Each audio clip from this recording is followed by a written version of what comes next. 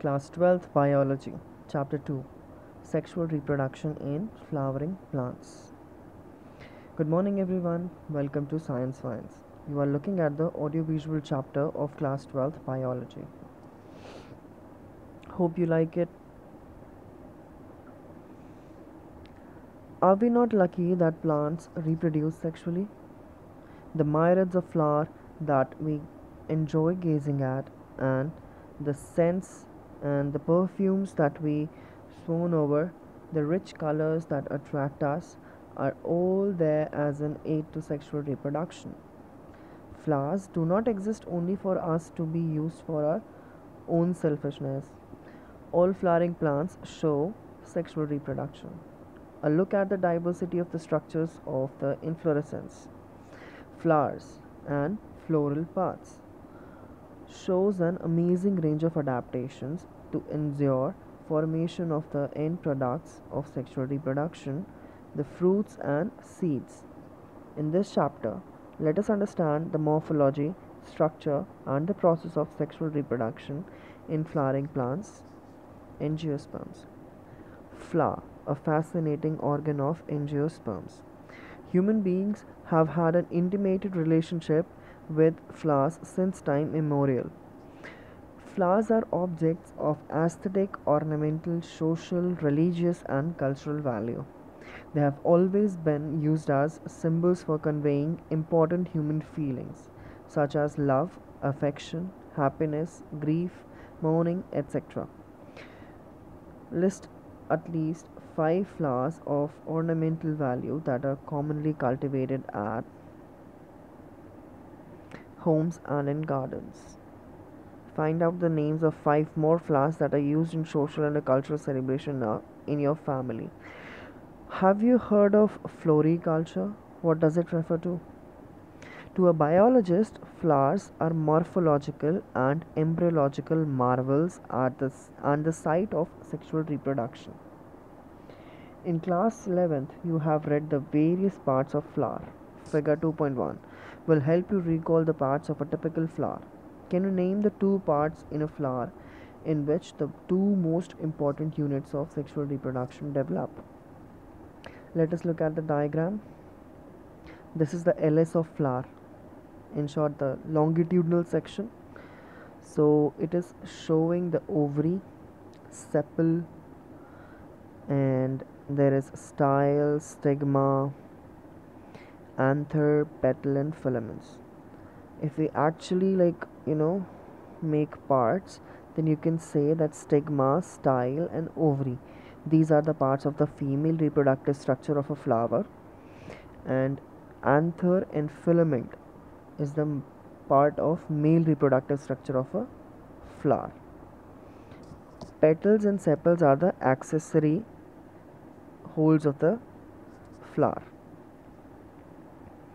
So now the pre-fertilization structures and events. Much before the actual flower is seen on a plant, the decision that the plant is going to flower has taken place.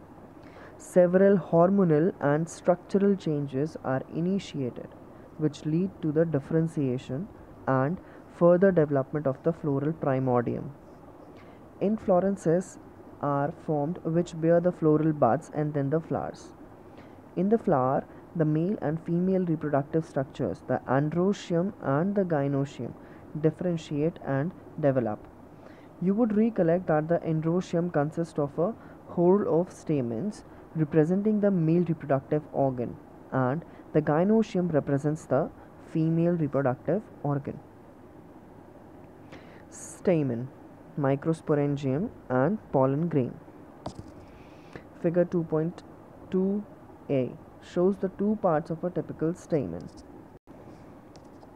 The long and slender stalk called the filament and the terminal generally bilobed structure called the anther. The proximal end of the filament is attached to the thalamus or the petal of the flower. The number and length of the stamens are variable in the flowers of different species.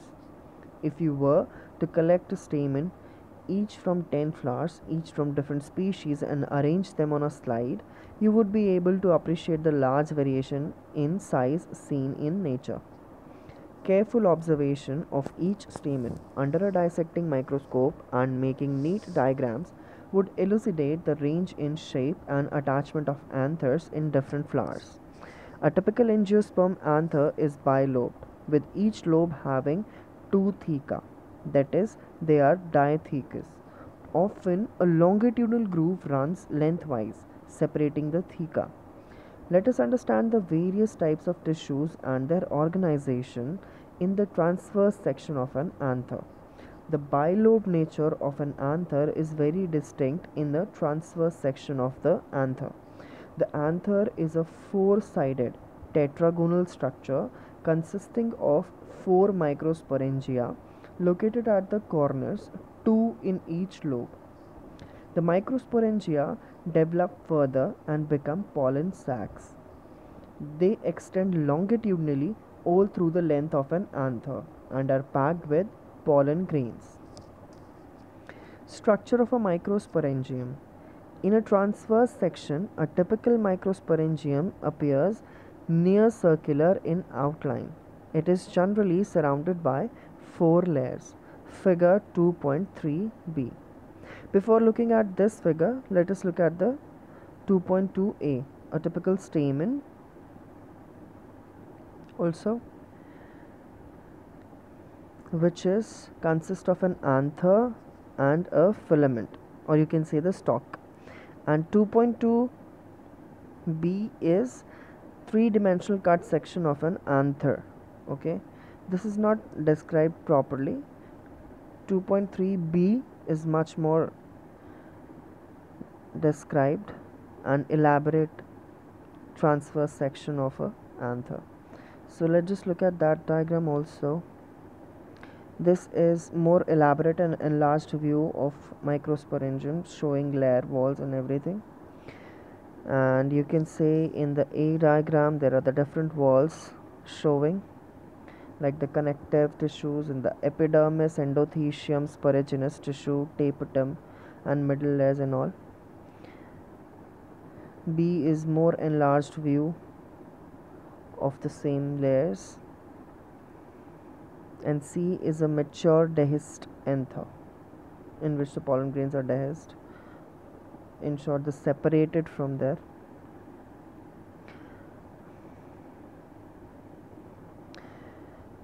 The epidermis endothecium middle layers and the tapetum. These are the four walls okay? The outer three wall layers perform the function of protection and help in dehiscence of anther to release the pollen. The innermost wall layer is tapetum. It nourishes the developing pollen grains. Cells of a tapetum possess dense cytoplasm and generally have more than one nucleus. Can you think of how tapetal cells could become binucleate? When the anther is young, a group of compactly arranged homogeneous cells called the sporogenous tissue occupies the center of each microsporangium. Microsporogenesis. As the anther develops, the cells of the sporogenous tissue undergo meiotic division to form microspore tetrads. What would be the ploidy of the cells of tetrad? I guess the haploid as each cell of the sporogenous tissue is capable of giving rise to a microspore tetrad, each one is a potential pollen or microspore mother cell. The process of formation of microspores from a pollen mother cell through meiosis is called microsporogenesis. The microspores, as they are formed, are arranged in a cluster of four cells, the microspore tetrad. As the anther mature and dehydrate, the microspores dissociate from each other and develop into pollen grains.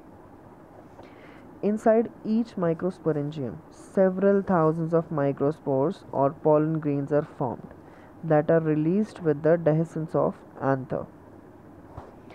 Pollen grain. The pollen grains represent the male gametophytes.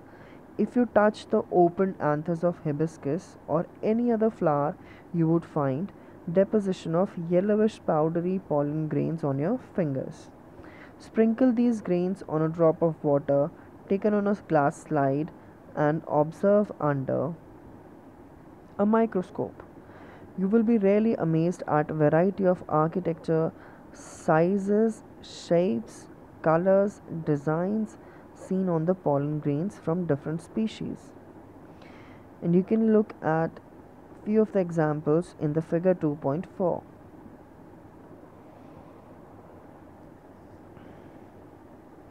Pollen grains are generally spherical, measuring about 25 to 50 micrometers in diameter. It has a prominent two layered wall.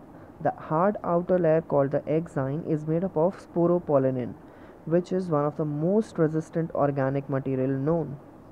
It can withstand high temperatures and strong acids and alkali. No enzyme that degrades sporopollenin is so far known. Pollen grain exine has prominent apertures called germ pores where sporopollenin is absent. Pollen grains are well preserved as fossils because of the presence of sporopollenin. The exine exhibits a fascinating array of patterns and designs. What do you think the exine should be hard? What is the function of germ pore? The inner wall of the pollen grain is called the intine. It is a thin and continuous layer made up of cellulose and pectin. The cytoplasm of pollen grain is surrounded by a plasma membrane. When the pollen grain is mature, it consists of it contains two cells, the vegetative cell and generative cell. Figure 2.5b. The vegetative cell is bigger, has abundant food reserve, and a large irregularly shaped nucleus. The gen- generative cell is small and floats in the cytoplasm of the vegetative cell. It is a spindle shaped with dense cytoplasm and a nucleus. In over 60% of angiosperms, pollen grains are shed at this two celled stage. In the remaining species, the generative cell divides mitotically to give rise to two male gametes before pollen grains are shed, three cell stage. Pollen grains of many species cause severe allergies and bronchial afflictions in some people, often leading to chronic respiratory disorders, asthma, bronchitis, etc. It may be mentioned that Parthenium or carrot grass that came into India as a contaminant with imported wheat has become ubiquitous in occurrence and causes pollen allergy. Pollen grains are rich in nutrients. It has become a fashion in recent years to use pollen tablets as food supplements. In Western countries, a large number of pollen products in the form of tablets and syrups are available in the market. Pollen consumption has been claimed uh, to increase the performance of athletes and race horses. Figure 2.6 are the various type of pollen products When once they are shed, pollen grains have to land on the stigma before they lose viability if they have to bring about fertilization. How long do you think the pollen grains retain viability? The period for which pollen grains remain viable is highly variable and to some extent depends on the prevailing temperature and humidity. In several cereals such as rice and wheat, pollen grains lose vi- viability within 30 minutes of their release. And in some members of Rosaceae, Leguminosae, and Solanaceae, they maintain viability for months. You may have heard of storing semen, sperms of many animals, including humans, for artificial insemination. It is possible to store pollen grains of a large number of species for years in liquid nitrogen, minus 196 degrees centigrade. Such stored pollen can be used as pollen banks. similar to seed banks in crop breeding programs. The pistil, megasporangium, ovule and embryo sac. The gynoecium represents the female reproductive part of the flower. The gynoecium may consist of a single pistil, monocarpellary, or may have more than one pistil, multicarpellary. When they are more than one, the pistils may be fused together, syncarpous, or may be free, apocarpous. Each pistil has three parts the stigma, style, and the ovary. The stigma serves as the landing platform for pollen grains. The style is the elongated slender part beneath the stigma. The basal bulged part of the pistil is the ovary. Inside the ovary is the ovarian cavity or the locule. The placenta is located inside the ovarian cavity. Recall the definition and types of placentation that you studied in class 11th. Let us look at the diagram or the figure 2.7. A. A dissected flower of hibiscus showing pistil. Other floral parts have been removed. Okay. So there is stigma, style, ovary, and thalamus of the hibiscus flower in the figure 2.7a. And in the figure 2.7b is multicarpellary syncarpous pistil of papaver. And in the C diagram, a multicarpellary apocarpous gynoecium of Michelia. D is a diagrammatic view of a typical anatropous ovule. And in the anatropous ovule, there are some labels starting from the hilum, funicle, micropyle or micropylar pole, outer integument, inner integument, nucellus, embryo sac, and chalazal pole. The name Anatropous is according to the chalazal pole and the micropylar pole positions. This is the inverted one so that is why it is known as the anatropous ovule. Arising from the placenta are the megasporangia, commonly called ovules. The number of ovules in an ovary may be 1. Wheat, paddy, mango. Too many. Papaya, watermelon, orchids. The megasporangium ovule. Let us familiarize ourselves with the Structure of a typical angiosperm ovule. The ovule is a small structure attached to the placenta by means of a stalk called funicle. The body of the ovule fuses with funicle in the region called hilum. Thus, the hilum represents the junction between ovule and the funicle. Each ovule has one or two protective envelopes called integuments. Integuments encircle the nucellus, except at the tip where a small opening called the micropyle is organized. Opposite the micropylar end is the chalaza, representing the basal part of the ovule. Enclosed within the integuments is a mass of cells called the nucellus. Cells of the nucellus have abundant reserve food materials. Located in the nucellus is the embryo sac or female gametophyte. An ovule generally has a single embryo sac formed from a megaspore. Megasporogenesis. The process of formation of megaspores from the megaspore mother cell is called megasporogenesis. Ovules generally differentiate a single megaspore mother cell in the micropylar region of the nucellus. It is a large cell containing dense cytoplasm and a prominent nucleus. The MMC undergoes meiotic division. What is the importance of MMC undergoing meiosis? Meiosis results in the production of megaspores figure 2.8a let us look at the diagram 2.8a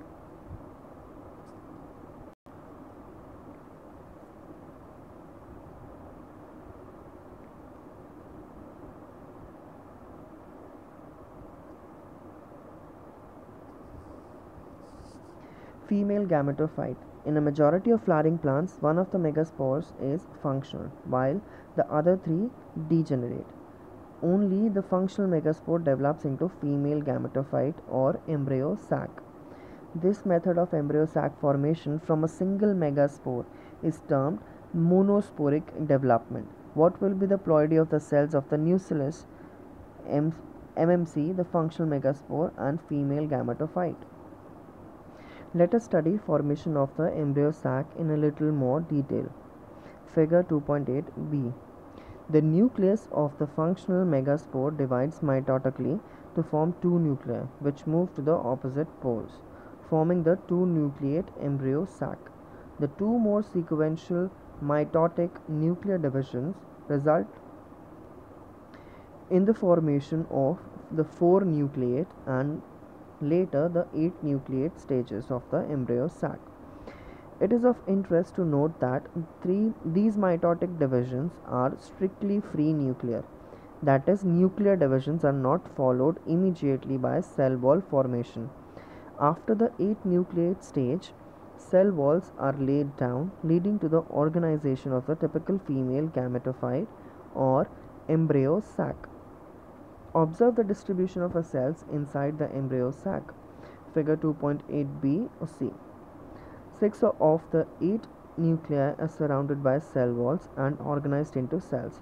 The remaining two nuclei, called polar nuclei, are situated below the egg apparatus in the large central cell. Let us look at the diagram.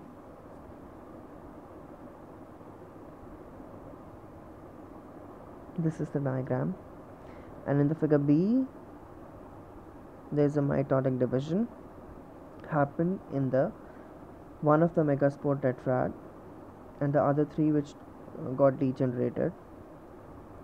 So the mito- after the mitotic division of the megaspore tetrad two cells form and they move towards the opposite poles. And there is one more free nuclear mitotic division and then again one more in short the two or three free nuclear mitotic divisions occurs to form 8 nucleate stage okay? And after the 8 nucleate stage the 6 of the 8 nuclei are surrounded by the cell wall.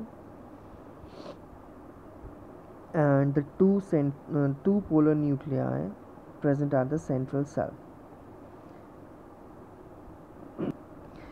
Let us look at the C diagram which shows that at the chalazal end the three antipodals are present and in the central cell there are polar nuclei which are two in number and at the micropylar end from where the pollen tube enters. The three synergids are present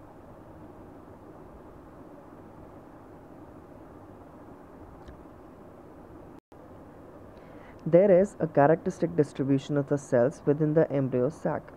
Three cells are grouped together at the micropylar end and constitute the egg apparatus.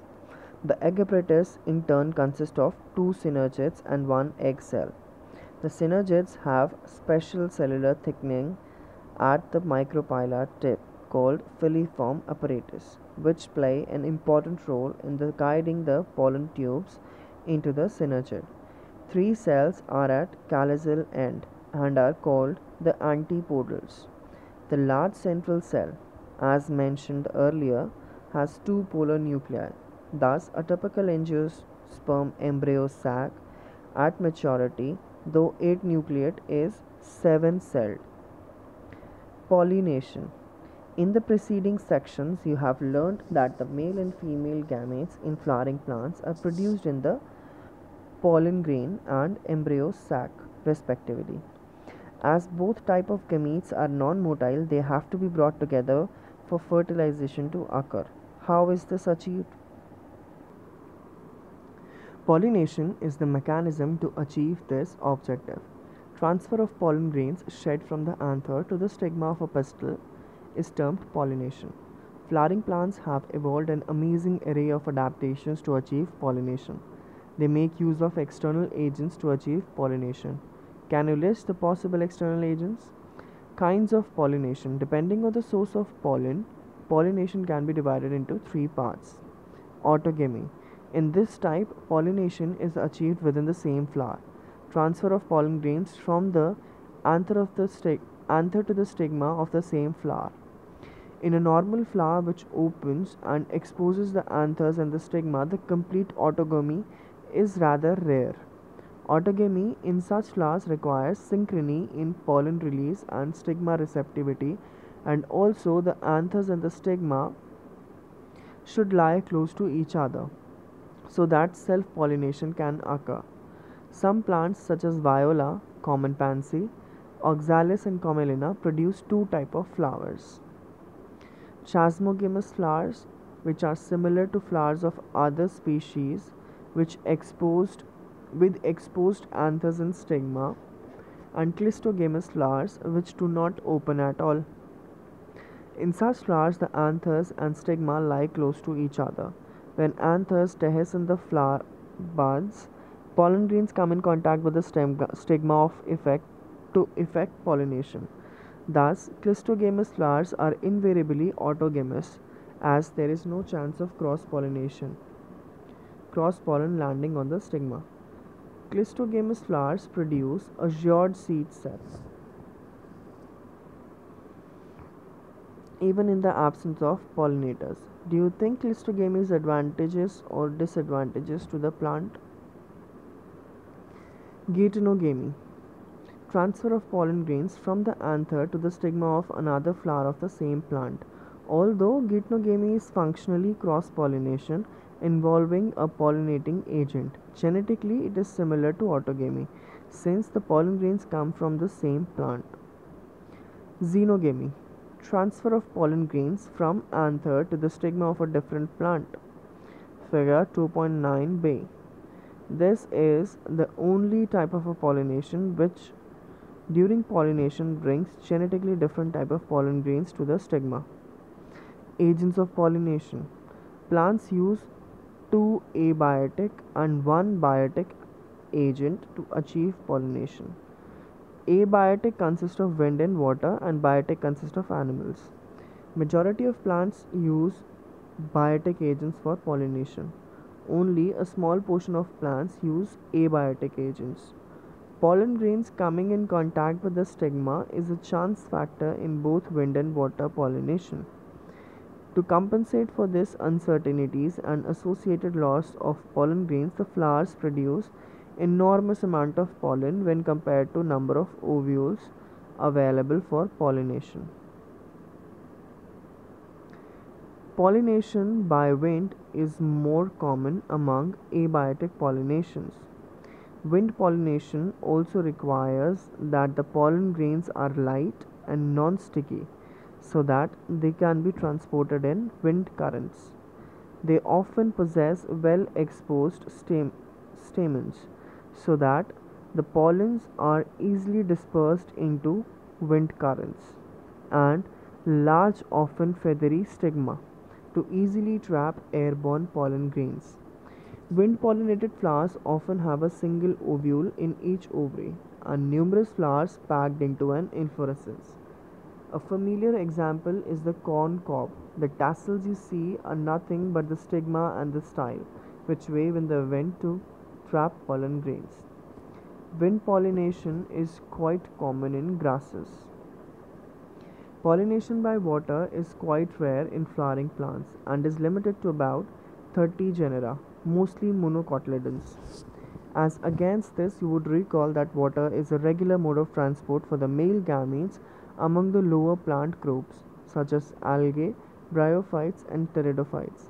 It is believed, particularly for some bryophytes and pteridophytes, that their distribution is limited because of the need, of, need for water for the transport of male gametes and fertilization. Some examples of water pollinated plants are Vallisneria hydrilla, which grow in fresh water, and several marine sea grasses such as Zostera.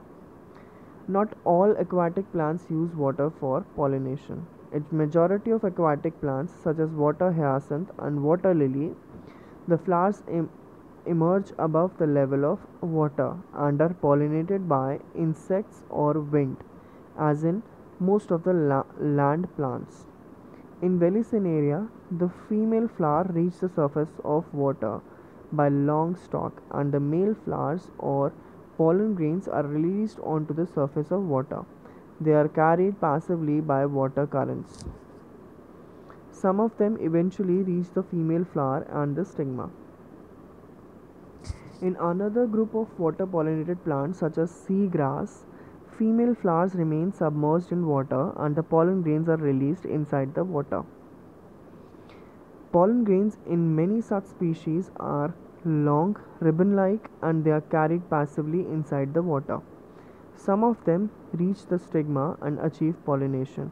In most of the water pollinated species, pollen grains are protected from wetting by a mucilaginous covering. Both wind and water pollinated flowers are not very colorful and do not produce nectar.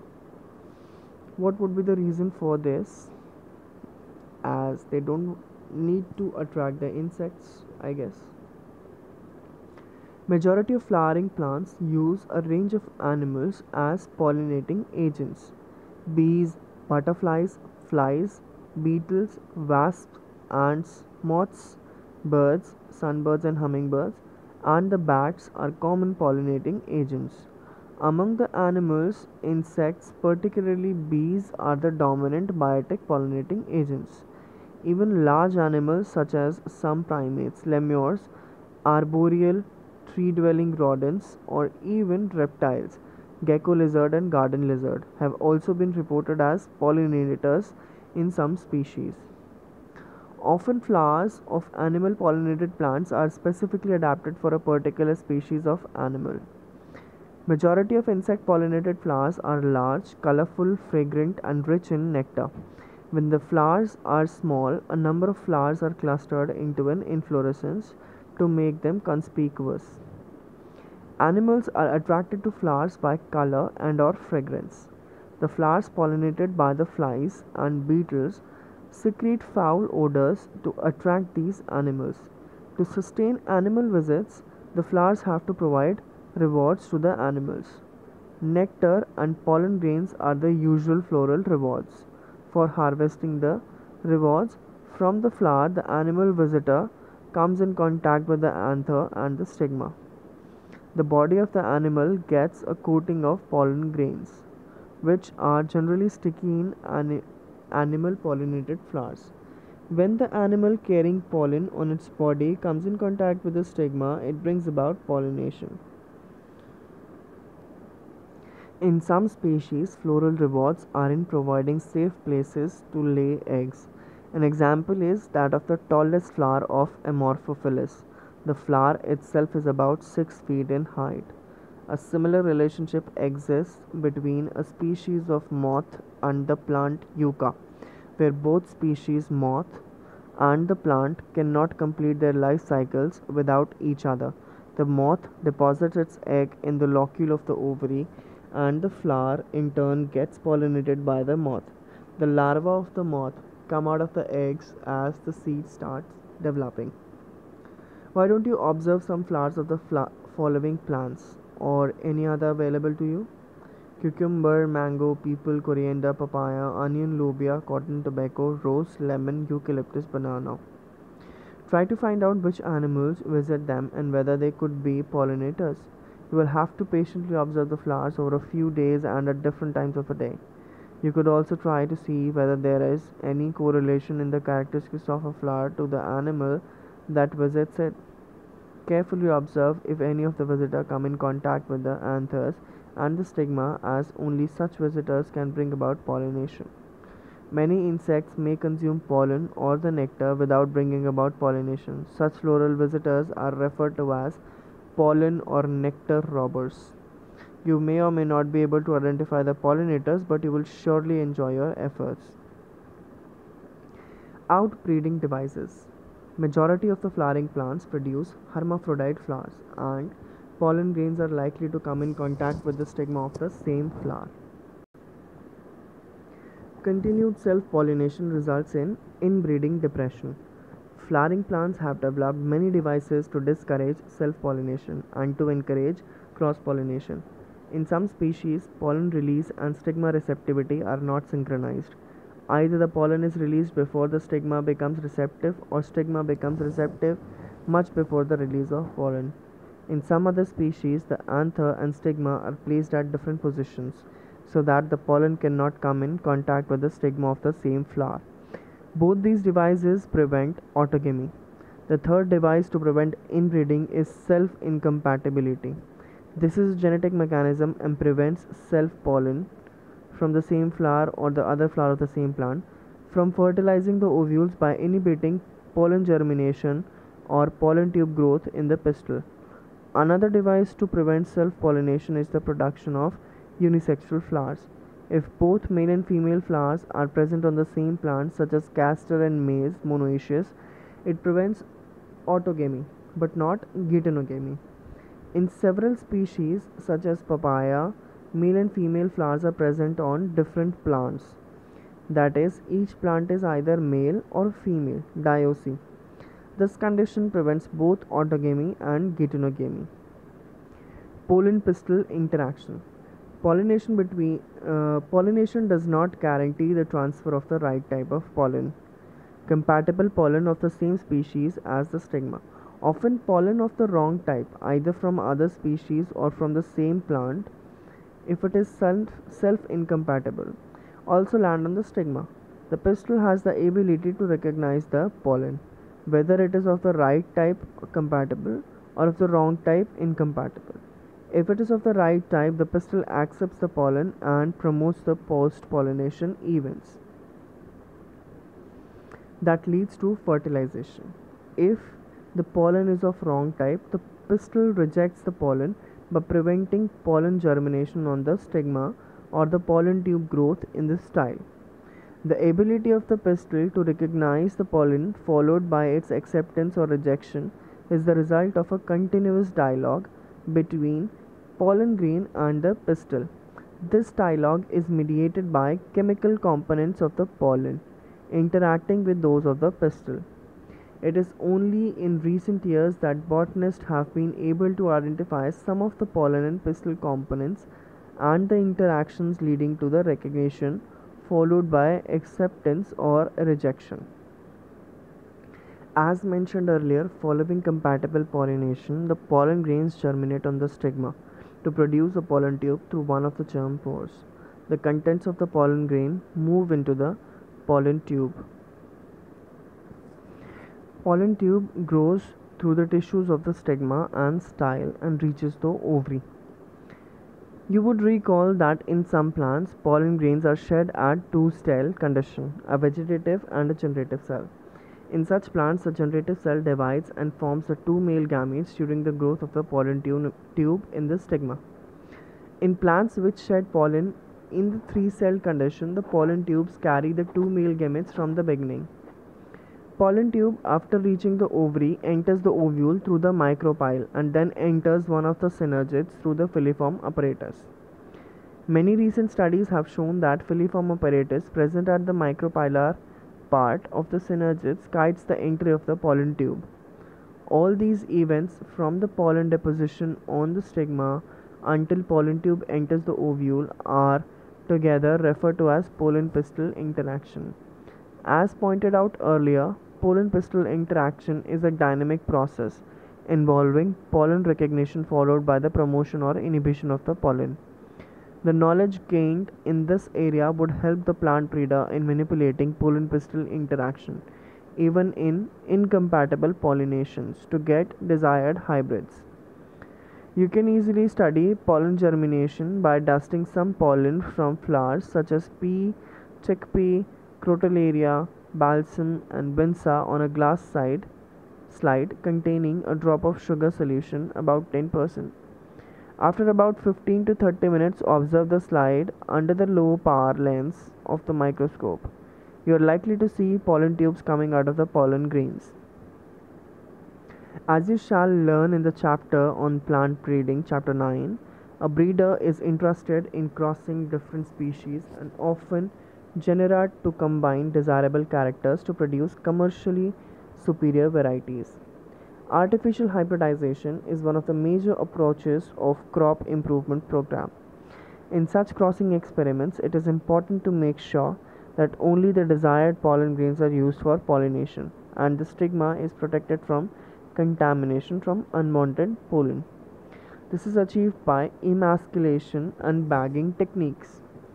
If the female parent bears bisexual flowers, the removal of the anthers from the flower bud before the anther dehiscence using a pair of forceps is necessary.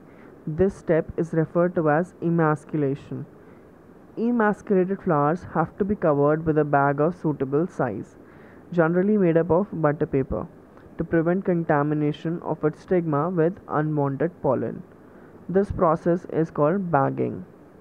When the stigma of bagged flowers attains receptivity, Mature pollen grains collected from anthers of the male parent are dusted on the stigma, and the flowers are rebagged and the fruits allowed to develop.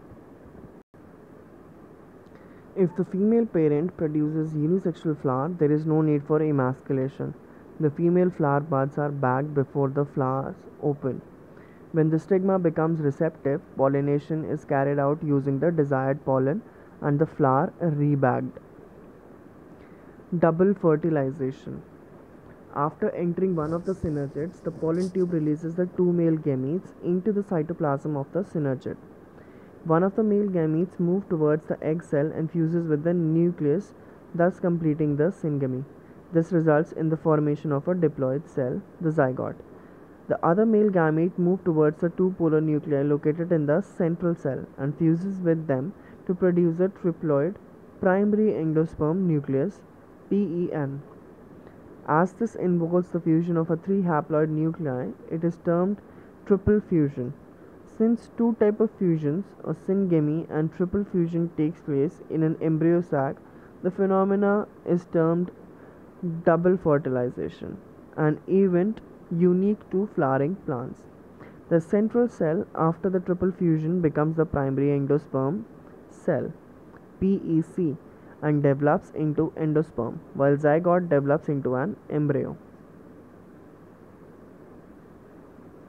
In this diagram 12.13, A is fertilized embryo sac showing zygote and primary endosperm. And the stages in embryo development in a dicot shown in reduced size of compared to A. Okay. Actually, they are bigger than the A so there is zygote and then globular embryo then heart shaped embryo and then the mature one so post fertilization structures and events following double fertilization events of endosperm and embryo development maturation of ovule into seed and ovary into fruit are collectively termed post fertilization events. Endosperm. Endosperm development precedes embryo development. Why?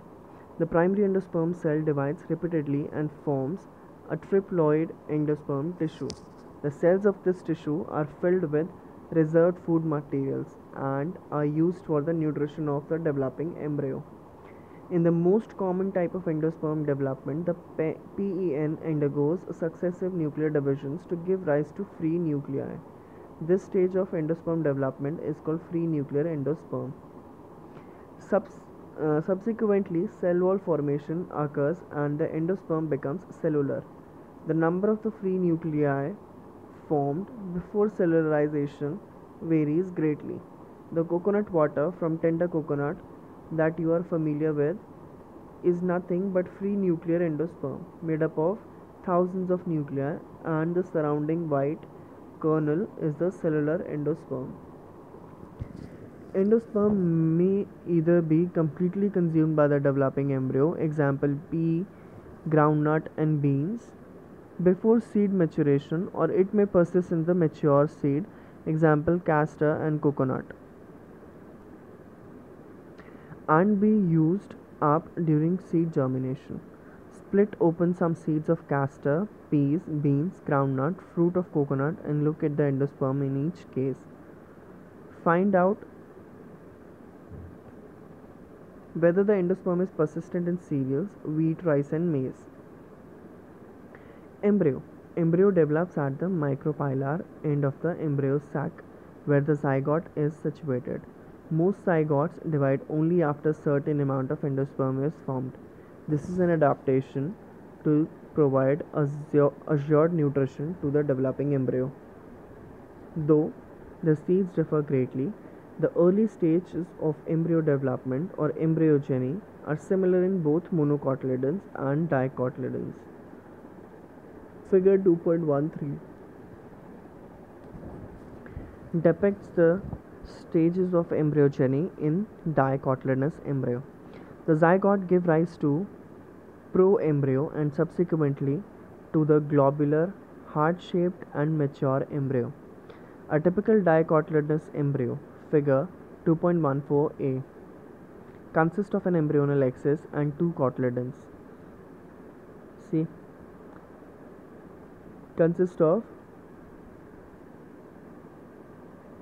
cotyledons, plumule, radicle, root cap and hypocotyl or cot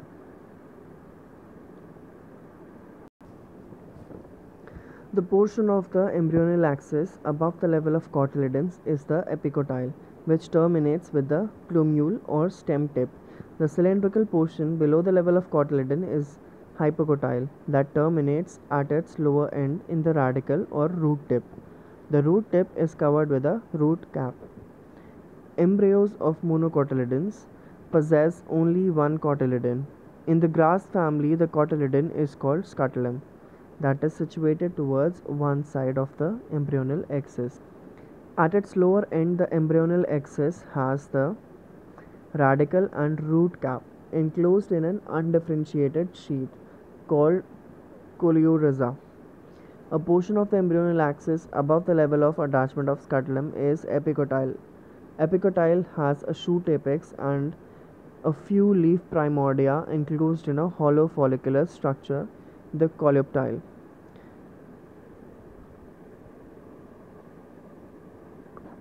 Soak a few seeds in water, say of wheat, maize, peas, chickpeas, groundnut overnight. Then split the eh, seeds and observe the various parts of the embryo and the seed. Seed in angiosperms, the seed is the final product of sexual reproduction. It is often described as fertilized ovule. Seeds are formed inside fruits. A seed typically consists of seed coat or coats, cotyledon or cotyledons, and an embryo axis. The cotyledons of embryo are simple structures, generally thick and swollen due to storage of food reserves, as in legumes. Mature seeds may be non albuminous or ex albuminous. Non-albuminous seeds have no residual endosperm as it is completely consumed during embryo development. Example pea or groundnut. Albuminous seeds retain a part of endosperm and is not completely used up during embryo development. Example wheat, maize, barley, and castor. Occasionally, in some seeds such as black pepper and beet, Remnants of nucellus are also persistent. This residual persistent nucellus is the perisperm. Integuments of the ovule harden as tough protective seed coats. The micropyle remains as a small pore in the seed coat. This facilitates entry of oxygen and water into the seed during germination.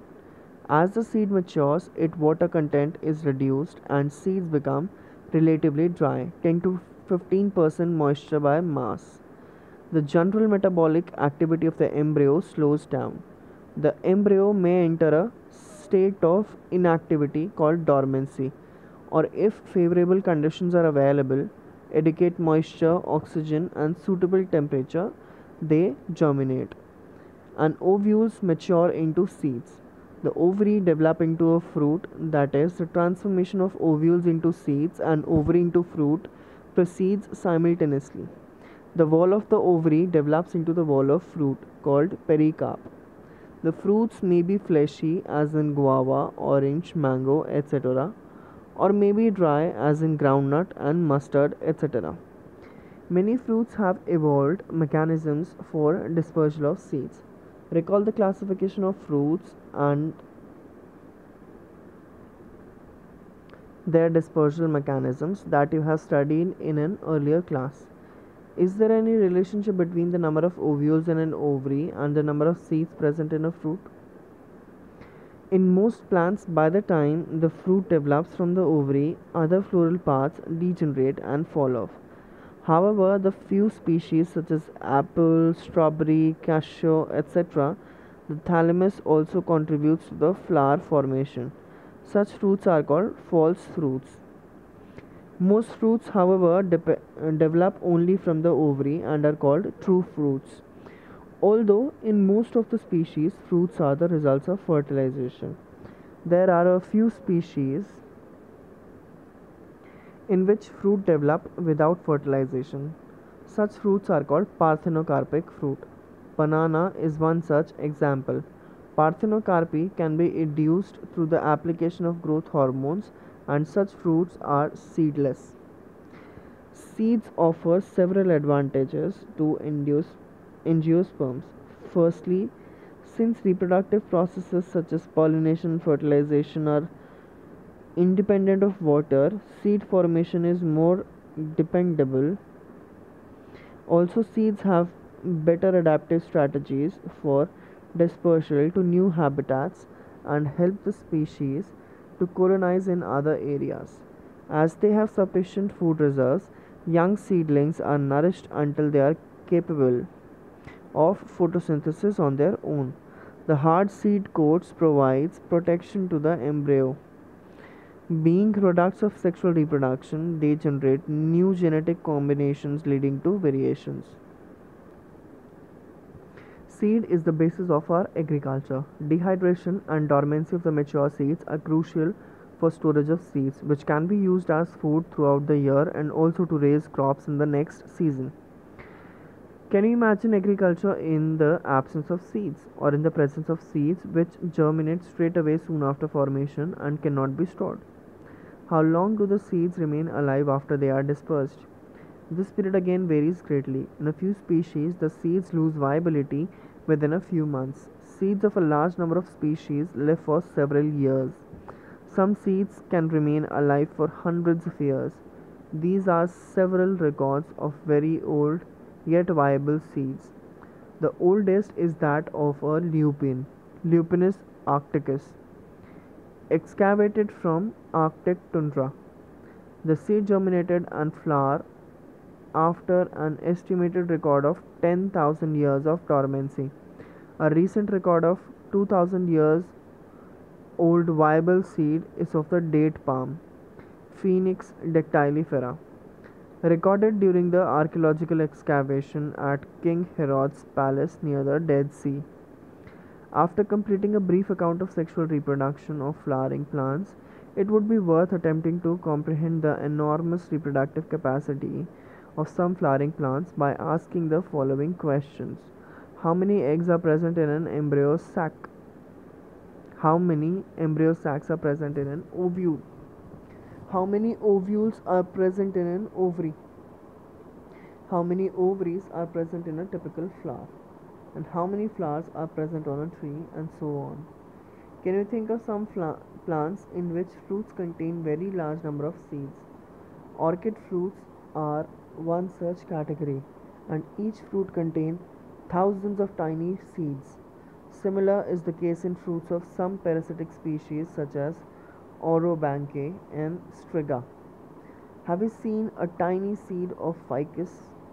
How large is the tree of ficus developed from that tiny seed? How many billions of seeds does each ficus tree produce? Can you imagine any other example in which such a tiny structure can produce such a large biomass over the years? Apomixis and polyembryony. Although seeds in general are the products of fertilization, a few flowering plants such as some species of Asteraceae and grasses have evolved a special mechanism to produce seeds without fertilization called apomixis.